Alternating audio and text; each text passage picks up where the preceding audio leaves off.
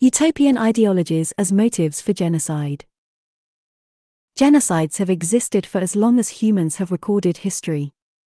There are instances of the intentional destruction of an entire group of people in the Hebrew Bible, and the Romans destroyed Carthage in a manner that sought to make impossible the continued existence of Carthaginians. In the Middle Ages, the papacy launched a crusade designed to annihilate physically every follower of the Albigensian heresy.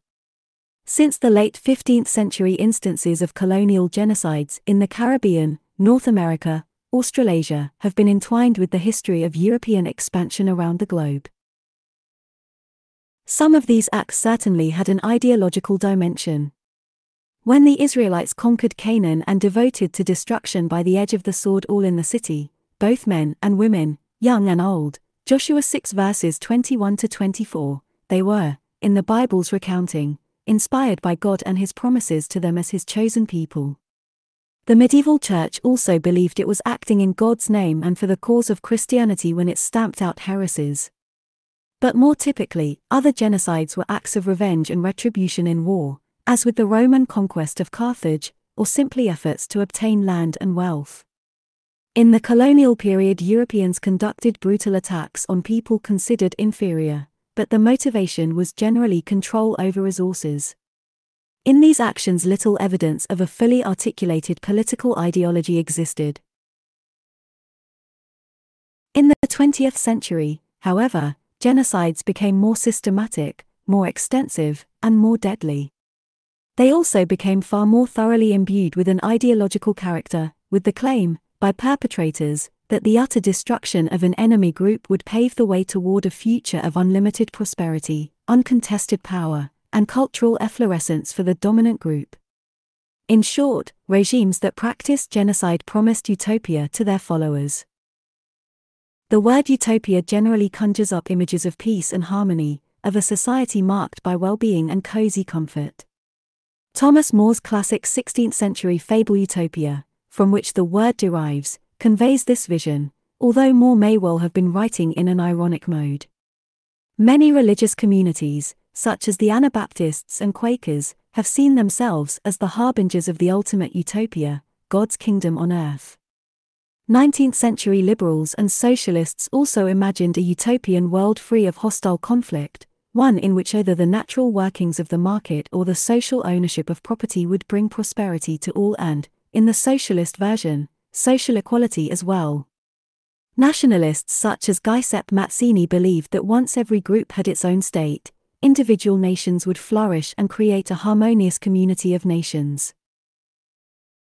Utopian goals of these kinds have never been fulfilled, but their advocates struggled mightily and contributed powerfully to many of the democratic and socially progressive advances of the modern era, from universal suffrage to the abolition of slavery to social welfare programs.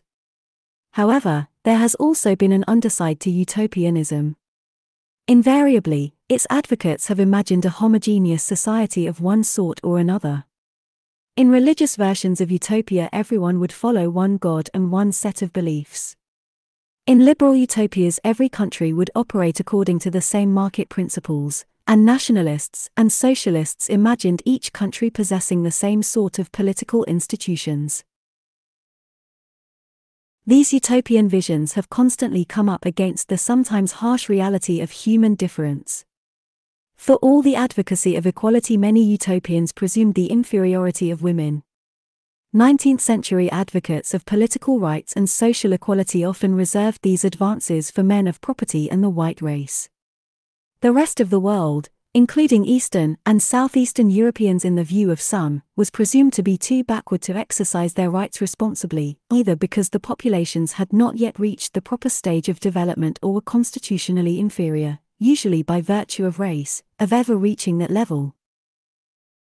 Utopianism became far more dangerous in the 20th century because it so often was linked to mass based social movements that seized power, established revolutionary regimes, and venerated the state as the critical agent of social transformation. By no means were all these states practitioners of the worst kinds of violence against civilian populations. At the same time, the most prevalent perpetrators of genocides in the 20th century were revolutionary regimes of either fascist or communist commitments Nazi Germany, the Stalinist Soviet Union, Cambodia under the Khmer Rouge, or states in the throes of some kind of uneasy revolutionary transformation, the late Ottoman Empire under the Young Turks, the former Yugoslavia under Slobodan Milosevic, Rwanda under the Hutu. The particular utopias these regimes or states advocated varied significantly. Yet every one of them envisioned a homogeneous society of one sort or another, which necessarily meant the expulsion or extermination of particular groups. Indeed, all these regimes claimed that utopia would be created only through the destruction of one or more enemy groups. The historian Saul Friedlander has coined the powerful term redemptive antisemitism to describe the Nazi hatred of Jews. According to the Nazis, Aryan life would flourish once Jews had been driven completely from the German realm. Similarly, one can see a kind of redemptive vision at work in the Young Turk attack on Armenians, the Khmer Rouge. Assault on Muslim Chams and Vietnamese, and the murderous actions of the Hutu against Tutsi. Each of these regimes promised their followers a brilliant future once the enemy was destroyed. The redemptive vision, the annihilation of one group as the decisive means for creating the future, marked the road to utopia. The regimes defined by explicitly national or racial ideologies were most open about the enemy status of the other. In a Nazi dominated Europe, so called Aryans would stand astride a continent cleansed of Jews, while Slavs would be reduced to subordinate status. In the Greater Serbia envisioned by Slobodan Milosevic and his supporters, there could be no place whatsoever for Muslims and Croats. Even under some communist regimes, the differences among people would be reduced to mere exotica, whereas the fundamental institutions and life forms would be the same. Those who refused to follow the socialist path, Chechens and Tatars in the Stalinist Soviet Union, Cham and Vietnamese in Cambodia, would either be driven out or killed. All these genocidal regimes expressed in their propaganda and policies the sharp, binary distinction they drew between the goodness of the dominant group and the utterly benighted and dangerous character of the enemy population. The Bolsheviks took power in Russia in 1917 fully confident that they could create a classless, egalitarian society. By clearing away the rubble of the past, they believed, the path would be open to the creation of the new society that would permit the ultimate efflorescence of the human spirit. In Marxian terms, the realm of necessity would finally be surmounted by the realm of freedom. Material prosperity in conditions of social equality would lay to rest all the pathologies of class riven societies and the nefarious traits of individual human beings. Within the harmonious socialist society, human freedom would develop in unimaginable ways, resulting in a society marked by unbounded prosperity and cultural creativity and the emergence of the new Soviet man and woman. However, the creation of that society first required the pursuit of the class opponents who would never be reconciled to the socialist vision. From the Civil War of 1918 and 1920 to the forced collectivization campaign of the late 1920s and early 1930s, the Soviets developed a set of purge practices targeting entire population groups characterized as the enemies of socialism. Then, in the 1930s and extending until Stalin's death in 1953, the designated enemies were increasingly defined as members of particular ethnic and national groups, including Koreans, Chechens, and Ingush, Crimean Tatars, Germans, Jews, and many others. All of them were viewed as security concerns, but even more important, as somehow constitutionally resistant to the siren song of Soviet socialism. As Stalin elevated the Russian nation to the most heroic and progressive within the Soviet Federation, certain other nationalities and ethnicities were assigned the typical Soviet language for outcasts, traitors, vermin, bloodsuckers, parasites. This kind of biological language indicated a racialization of nationality and ethnicity, because virtually every single Korean or Chechen was seen to carry the nefarious traits within his or her body. Soviet socialism could only be saved by the purge of these groups, usually forced deportation in such horrendous conditions that the results were extremely high mortality rates. The Nazis claimed that only Aryans were a culture producing and economically productive people, who, therefore, were entitled to dominate others. Aryans are the Prometheus of mankind from whose bright forehead the divine spark of genius has sprung at all times, Adolf Hitler wrote in Mein Kampf. In contrast, Jews were a culture destroying race who embodied filth and disease. Through their inherent, biologically driven desire for domination, they threatened to overwhelm Aryans. Hard fought racial struggle, through which Aryans would demonstrate their mettle, was the path to the utopian future. This would be a war of annihilation in which one side would triumph and the other would be utterly destroyed. Aryan health and prosperity would be restored and become even greater through the victorious struggle against the Jews. With final victory, Germany as a nation would be powerful, its rule uncontested, its domination feared. As a people, Germans would be productive and prosperous, the masters of nature through engineering and science, yet at the same time they would be able to revel in the retreat to a pristine natural order. Everyone would be joined in a racially homogeneous grouping, with healthy members and the elderly well cared for. This was the Nazi ideal of Volksgemeinschaft, the organically unified, racially select people's community that would create a new culture that brought together rural and urban, menial and intellectual workers.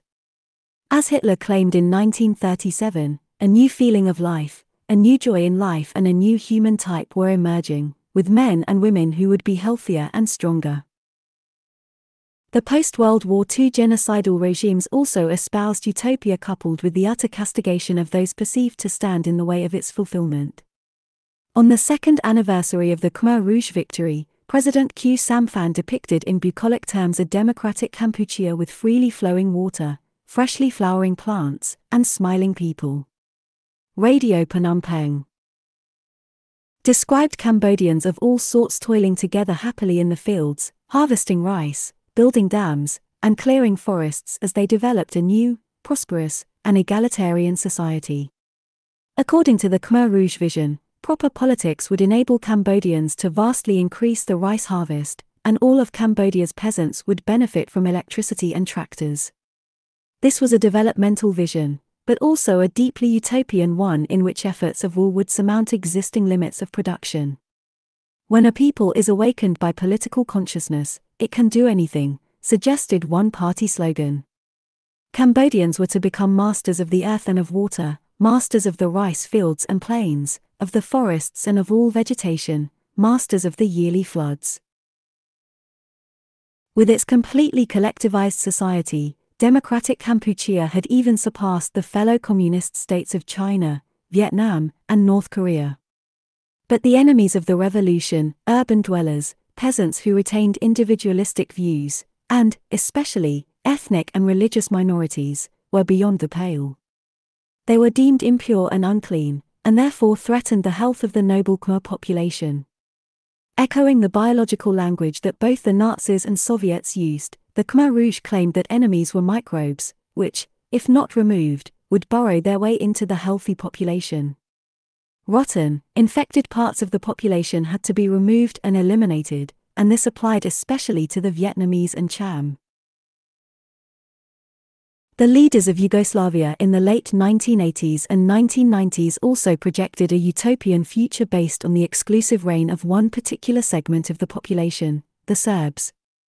Over and over Slobodan Milosevic and other Serb nationalist leaders invoked the supposedly glorious history of Serbs and their tragic present, in which, it was claimed, Serbs were oppressed by the inferior peoples around them, whether Muslims, Croats, or Westerners of various stripes. Serbian Orthodox clerics associated with the national cause claimed that God looked down with special grace on the Serb people. Others claimed that Serbs were the historic people of the South. Slav lands, who for hundreds of years had fought heroically against the Turks and in the 19th and 20th centuries had led courageous struggles for democracy and national independence. Places of mixed ethnicity such as Sarajevo and Dubrovnik were thus sites of pestilence and prostitution. Muslims especially were called dogs, even packages or cabbages, particularly dehumanizing terms that perpetrators used to refer to their victims. Only an exclusive nation state, cleansed of Muslims, Croats, and any non Serbs, Serb nationalists claimed, would allow the potential of the people to burst forth in torrents of creativity and development. Cleanliness and purity are terms that, necessarily, signify their binary opposites, the unclean and the impure. In all these instances, and others as well, such as the genocide of Armenians in the late Ottoman Empire, those who were considered unclean were an active source of pollution that threatened to contaminate the clean and the pure. Hence, they had to be at least quarantined and, in the most extreme cases, eradicated altogether. For some of the powerful revolutionary systems of the 20th century, the dirt that anthropologist Mary Douglas famously described as matter out of place was, in fact, human matter, and it had to be eradicated through political action. In excluding dirt, these systems were reshaping the very composition of their societies. Such immense, wide ranging efforts required the mobilization of populations, both as active participants and complicit bystanders. Regular security forces did not suffice for actions that involved the killing of hundreds of thousands and even millions of people. The active killers in the armies and internal security units were supplemented by paramilitaries, and also by the citizens who denounced their neighbors to the authorities and seized the property and possessions of those who had been deported and killed. In this manner, 20th century genocides became social projects. Utopian ideologies have often generated activism directed at a more humane and peaceful future. But the propensity of utopians to think in homogeneous terms, of creating societies devoid of difference, also lurks behind many of the massive violations of human rights that have occurred in the 20th century. In so many instances, the perpetrators of genocides were those who believed that it was indeed possible to create a future of unlimited prosperity and creativity once the enemies, so often defined in national or racial terms, had been eliminated. Utopian ideologies, alongside the immense organizational capacities of the modern state, helped to make genocides prevalent and the number of their victims staggering in the 20th century. See also Cambodia, developmental genocide, genocide, Hitler, Adolf, linguistic genocide, Milosevic, Slobodan, Pol Pot, Stalin, Joseph, Union of Soviet Socialist Republics, utilitarian genocide. Bibliography Chandler, David, 1991. Voices from S21 Terror and History in Pol Pot's Secret Prison. Berkeley, University of California Press.